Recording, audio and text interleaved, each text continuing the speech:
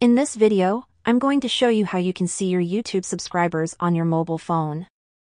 It doesn't matter if you are on Android or iPhone, the process is the same. And if you are new to this channel, make sure to subscribe for more tutorials like this in the future. It would really help me out. So without wasting your time, let's start. We're not going to use the official YouTube app for this, but we need to open the web browser. I'm on my iPhone so I will open Safari, but you can use any browser you want if you are on Android. It doesn't matter. So when you open your browser, go to youtube.com.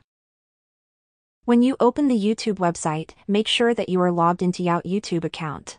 I'm logged in, so the next step that we will do is to request the desktop version of the site. If you use Safari, then click on these letters right here, but if you are on Android tap on the three dots that are somewhere on the screen. Wait until the website loads completely, and then you want to click on the profile picture in the top right corner of the screen. And when you do that, a little menu will show up, so you need to tap on the YouTube Studio button here, and this will open the desktop version of your YouTube Studio. But if it keeps opening the mobile version of the app, then delete the YouTube Studio app on your phone and then go here. This won't work on the mobile app, so we have to do it like this inside of the browser. When the YouTube Studio loads, make sure that you are on the dashboard page of the studio. It says Channel Dashboard as you can see here. And if we scroll down, you can see a section called Recent Subscribers. Tap on See All.